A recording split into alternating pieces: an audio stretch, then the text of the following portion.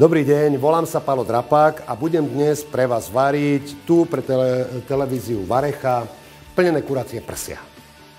Na tento recept budeme potrebovať krásne kuracie prsia, vidíte, aké sú nádherné prerastené, tak to, muselo byť, to muselo byť vážne kurča, k tomu pekné zelené špenatové lístky. Čerstvú cibulku máme, ktorú použijeme potom na e, rýžu s hráškom a plniť kuracie prsia budeme kukuričkou a hráškom. Najskôr si pripravíme rýžu, pretože rýže e, sa bude variť dlhšie, tak si dáme, dáme si tu olejček. Do toho nasypeme rýžu, ktorú sme si predtým trošku opláchli, umili, pretože, aby sa troška tá rýža napúčala. Vysypeme do toho. Nesmieme zabudnúť, že rýža sa zalieva 1,5, hrnč, 1,5 pomer v pomere každého. To je jedno, či je to hrnček alebo nádobka. Takže mali sme asi približne toľko to v nádobke. Nabereme si tam vodu do toho ale nesmieme si to pomeriť, aby nebolo veľa vody zase. Takže približne asi takto nám to vychádza. Ehm, my si takto rýžu zalejeme. Tak, rýžu by sme mali, osolíme ju. Dáme sol.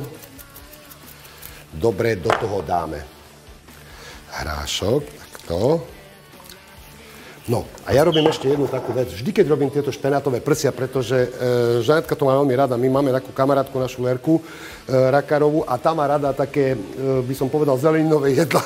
A ja som vždy do toho pridal, že aby aj tá rýža bola taká zaujímavá, tak ešte pod, pod, trošku podsakame tak nadrobno.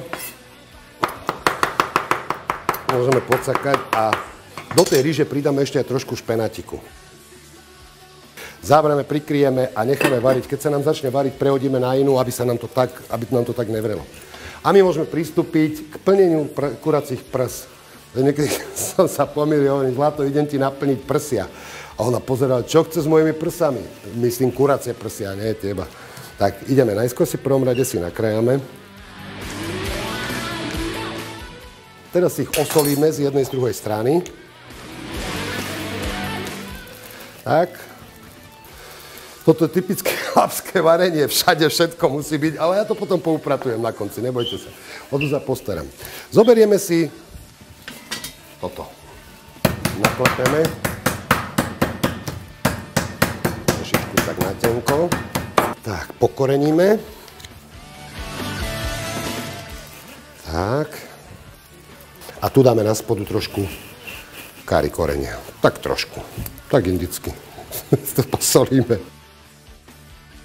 Teraz zoberieme lísky špenátu, poukladáme jednoducho, úplne jednoducho to podávame.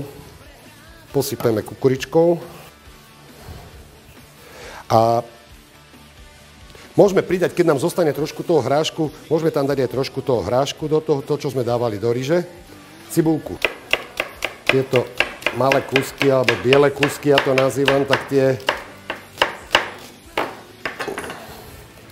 tie zoberiem. Tie si dám sem, ešte si ich pridám do, do tej našej ryže. Tak. Postupne takto si to zatočíme. A my potrebujeme trošku oleja, ktorý nám zostal, ktorý som si nechal, ktorý som si nechal len trošku, aby sme si pomastili v podstate na pomastenie pandičky. Môžeme ešte aj návrh trošku dať, kari. Tak. Tak. Obratíme. Môžeme tu teraz ešte trošičku podliať, tak to vôbec nevadí. Takto, keď si to spravíme, tak by nám mal zostať taký pekný kopček. A dáme si teraz tento veľmi pekný, chutný kúsok meska k tomu.